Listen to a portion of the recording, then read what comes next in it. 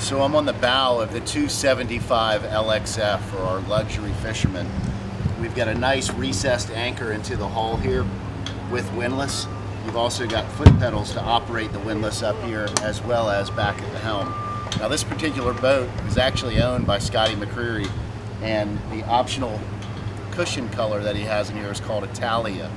The outside of the hull is azure blue.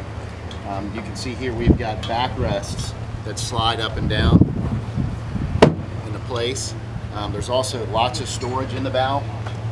So you've got hatches that open on either side that are good for fenders or life jackets or storage beach bags, whatever you want to take, and also a large storage compartment here in the floor.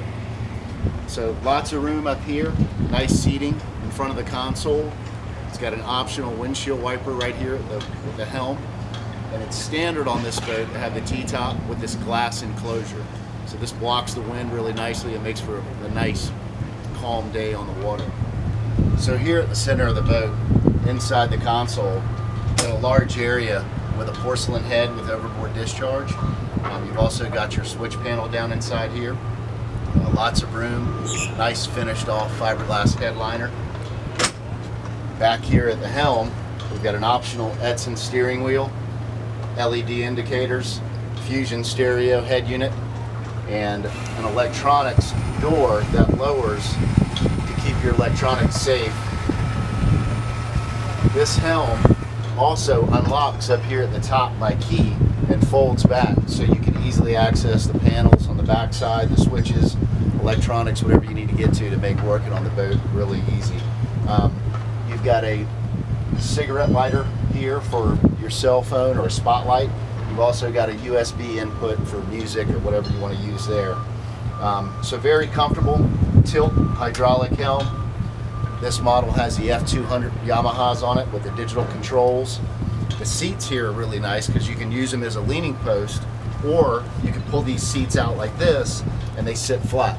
So, and they're co-independent of each other. If, if the driver wants to sit down and the passenger wants to stand or vice versa, it's very easy to do. Coming to the back of the console, you've got your rod holders, cup holders here. This is a nice cooler box in the back here. Stainless steel sink with fresh water. You can also use this as a shower in the back of the boat. Um, you've got rocket launchers up top, built into the hard top with LED lights, uh, speakers. So really nice layout back here. Stainless steel storage drawers. In the floor, we've got two large fish boxes with diaphragm overboard discharge.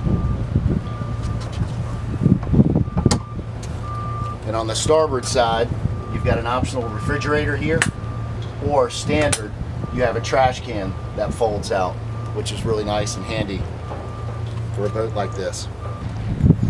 Large access to the bilge here with your fuel water separators, 2,000 gallon per hour bilge pump, brass seacocks for anything that goes through the hole. You've got two very large live wells, dive ladder on the back of the starboard side swim platform, wave gate door, it folds down to the floor and makes walking to the back of the boat to the swim platforms very easy. Or you can fold it up, lock it in place, backrest slides up,